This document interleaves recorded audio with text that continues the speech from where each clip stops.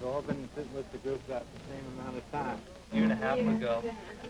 A year, year and a half ago? Year and a half or two years ago. Have you stayed about the same number of people? No, it's grown. It's, it's very, it's only been about uh, 15 to 30 people. But uh, that's basically what we've kept it at. Except uh, we're all living together now.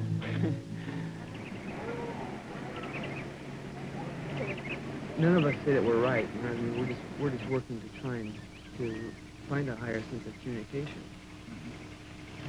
But um, like yeah, I think there is that danger on it. That, uh, people can get hung up on any process. I think any com- any community can survive if you can uh, get this one, be strong in this one thing, that everybody is responsible in cleaning up after themselves in this sort of this in this area. In other words, I, I really suggest that like starting out with a small group of people, Yeah. because if you overload yourself, you can't turn yourself onto each other. You end up shutting yourself off.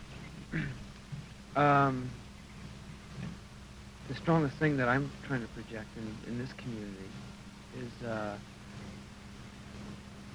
for people to get to a point where they're totally responsible, self self-sustaining responsibility. Um, we pay five dollars a month, five hundred dollars a month rent. Now, this has been such a great thing, man, because like, uh, this like Strawberry Fields like these other places have failed. They make it too easy, so people lose their, their sense of uh, responsibility. And what we ask of people for it is very little. Uh, we figure it out to uh, roughly $25 a month with room and board and lights and everything. When we first moved in here, everybody was, because they did have their own individual houses, they were very much on their own trip. And now they're recognizing that it's happening right here. And like now, we're all coming together all the time. More and more, everything we do, we're doing it together.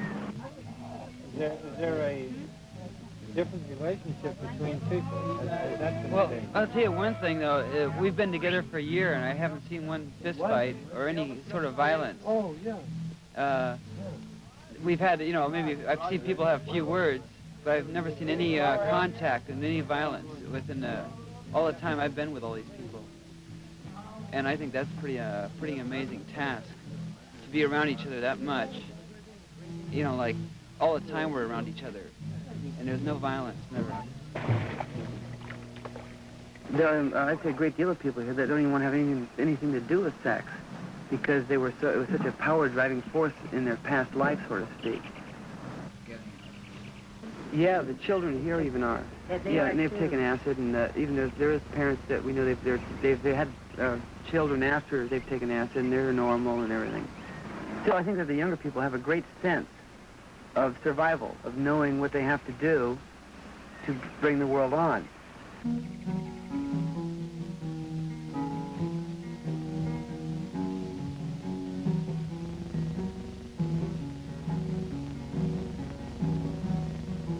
There um, any drinking? Drinking? Uh, no, because uh, little wine. uh, drinking, uh, uh, well, Nobody did this. You can, well, it feels like when you take a swallow, you know, it goes down and explodes and hits your, all, you know, boom, boom, man, man. Ugh, Okay. I'll be on a drunk trip in a minute. Um, Everybody's basically on a spiritual trip. You know, trying to evolve themselves into the whole thing. Do you feel like you're moving together closer?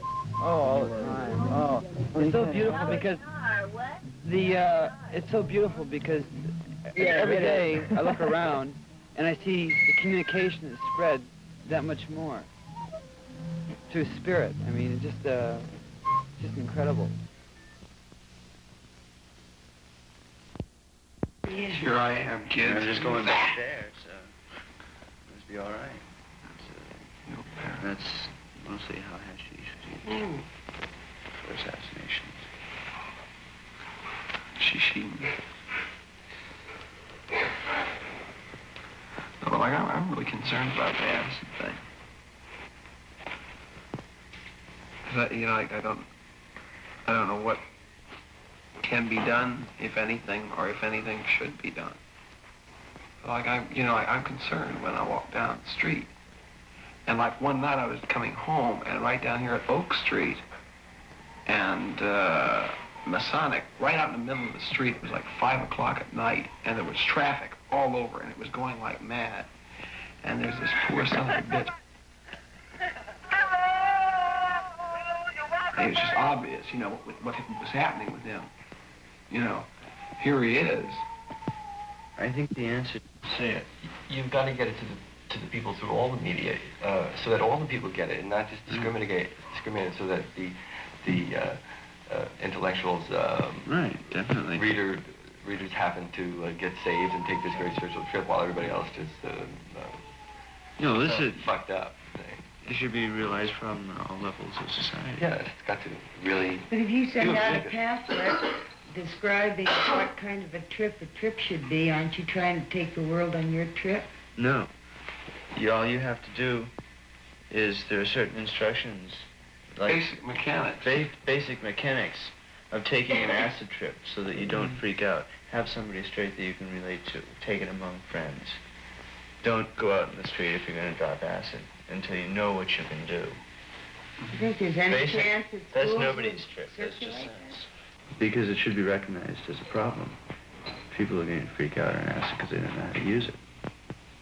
It can be used as a gainful religious experience if it's done with control. That's what the public should understand is that the way to make drugs safe to use is not through uh, restriction, but through uh, through education. Yeah, well, like restrictions like putting the dope in a can in a cookie jar. I'd tell them that they'd better listen to their children or they're going to lose their children, and that they'd be much happier if they followed them and helped them so that they could all grow together. Learn to be human beings and relate to each other. I hear my friends say the same thing. They're saying, I'm tired of this rat race. It's dog eat dog. I want to go out on a, a desert island. You know, I want to get away from it all. These kids hear it, and they're applying it, and they're doing it. And they're in our midst. Now, how do we relate to these, our beloved? In compassion, concern, communication, in the real acceptance of humanity for humanity.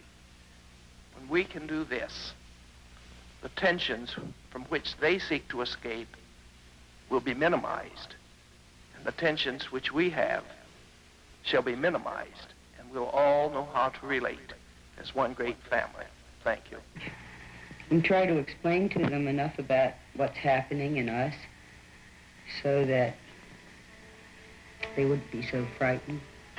And so they wouldn't do things like bash in their children's guitars with fire pokers and tell their children they can't come home for Christmas dinner because their hair is long. And all of the things that all of the kids tell me their parents are doing to them. That's about it.